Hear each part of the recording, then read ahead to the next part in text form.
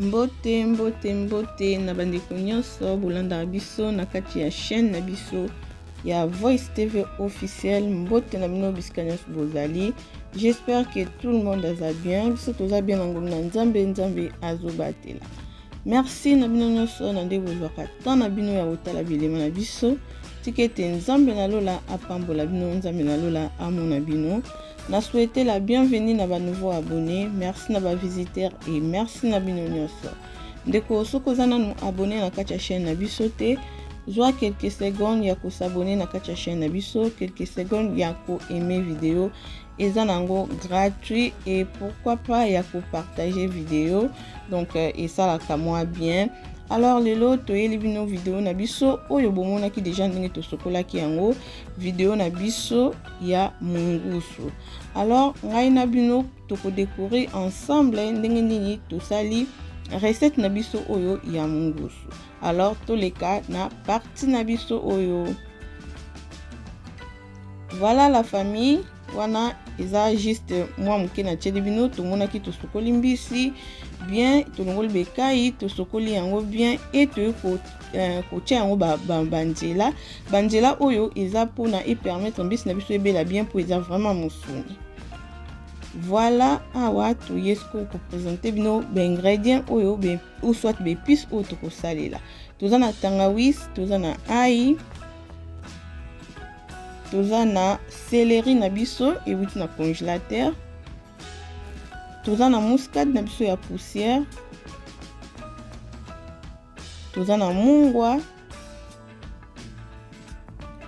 toza na aja na biso ya cube toza na de cube magie na biso simple donc euh, soki osepelaka nango te ndeko nde nalobaka kosalela te biloko eza awa soki oyo ngai natie awa soki eza na eloko moko oyo osepelaka kosalela te alors kosalela yango te oremplace na eloko oyo osepelaka kosalela voilà awa toza na dembu bakibe na biso to panzi yango e tosopi yango likolo ya mbisi na biso e toye kozwa mungwa na biso totie ebele te mpo mbisi na biso vraiment eza ebele te e tozozwa aja na biso ndambo mpona toyebi yango ndenge etelisaka mbisi donc nde nalobi soki osepelaka nango te kosalela yango te mpona bandeko bakotuna ngai soki okozwa yango wapi na bashop ya bacongolais ezali bateka yango na bashop ya bacongolais bon nayebi te so na bashop ya bekolo mosusu mpe ezali mais na ba shop ya ba congolais okozwa yango donc c'est ça et voilà awa tozo balola ndenge nasalaka comme d'habitude mpona poisson na biso ezwa mungwa donc oyo ezali mungusu na biso donc euh, c'est ça ezali mungusu tolongoli tosokolaki yango tolongoli yango bekai e voilà totie yango banzela banzela oyo totie yango ebele ebele boye mpona mbisi na biso comme bomona eza vraiment na épaisseur eza vraiment mosuni e accord tokotumba yango epermettre biso mbisi na biso ebela bien e awa ezali biloko na biso oyo tolakisaki bino ai euh, ai Mus euh, sorry bandeko ayi celery tangawis e tozokende komixe yango e tozotya na euh, muscade na biso awa bolimbisi bandeko e tozotya yango boye tozokende komixe yango Voilà la famille wana tosisi komixe biloko na biso tosisi toye sikoyo tobwaki yango likolo ya poisson na biso e ndenge nalobaka il faut soki ozo koepise ko poisson kosopa kaka ba épice soit ba ingrédient likolo bongo to otiki yango faut vraiment o assaisonne yango bien ozokotisa na banzela oyo opasolaki wana ozokotisa yango na kati parceke esala ke ntango moto azolia poisson na yo ayoka kaka te ke gout ya poisson eza na libanda mai ntango alie na kati ya mosuni mosuni eza nango malili donc ngai nasalaka boye nde bozomona na video nazwaka vraiment nazokotisa babiloko na ngai oyo nanikaki baepice na ngai baingredient na ngai nazokotya yango bien na banzela oyo natyaki na kati ya libumu soki mpe mbisi eza na motu nakotya yango mpe ntina motu mpo ntango moto akolia poisson ayoka yango goût ti na kati voilà c'est pour cela totiaki mpe banzela ebele ebele na kati ya mbisi na biso oyo mpo ezalaki mbisi na biso ekota saisonnement bien voilà awa sikoyo toye kotya yango na bol na biso ndenge eza boye poisson na biso ekolala na frigo ekolala na frigo tokotumba yango jour elandi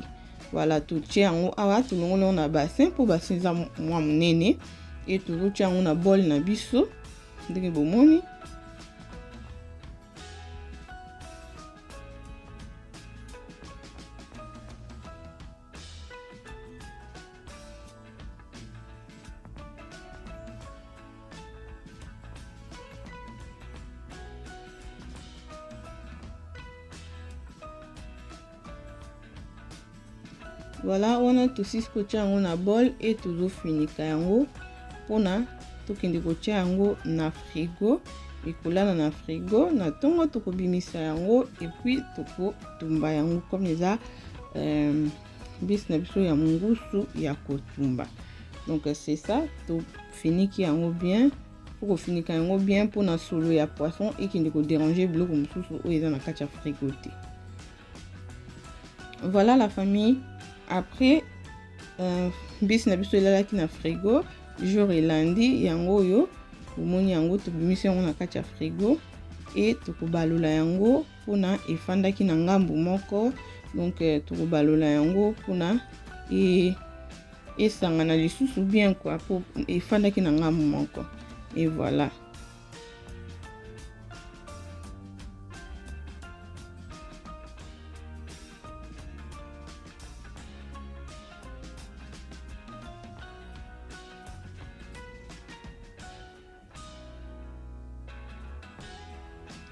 tozwi jus na biso ya citron comme naza na citron ya mbuma te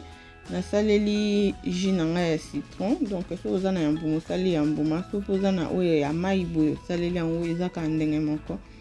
natye jus na ngai ya citron na poisson na ngai e natye yango bien mpo ezwa bien e naye kozwa huile na ngai na tie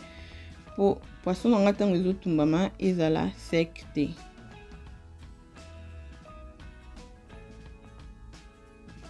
e motalaka na ngai deja natiaki yango huile na nsima ya kamera naye kozwa poisson na ngai natie yango likolo ya motalaka na ngai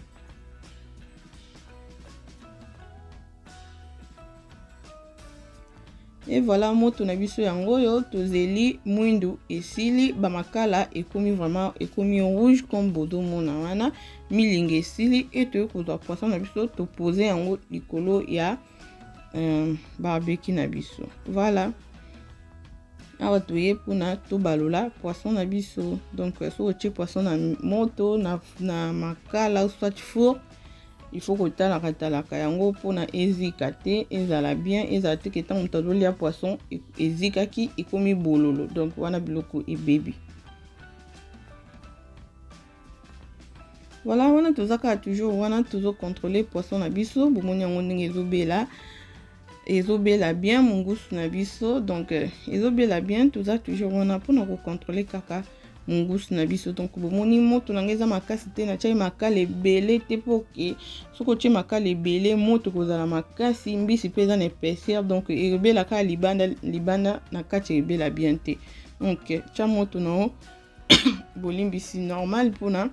mbisi no ebela bien awa nafungoli motalaka na nga e naye kozwa poisson na nga na baloli yango sikoyo kota libumu mpo kota libumu mpe ezwa moto bien mpo namoni na mipanzi ebeli vraiment bien na libumu wana na kati ebandaki kobela mwa malembe sikoyo nafungoli motalaka na nga na baloli yango kota libumu mpo ebela mpe bien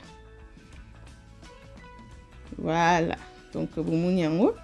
kote ya libumu donc tobaloli lisusu ngambu mosusu bomona mbisi na nga meme na banjela banjela wana efungwami ça veut dire ke mbisi ebeli bien voilà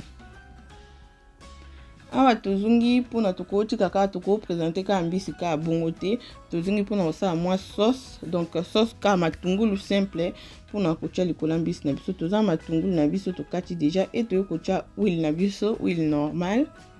tozwi jus de citron na biso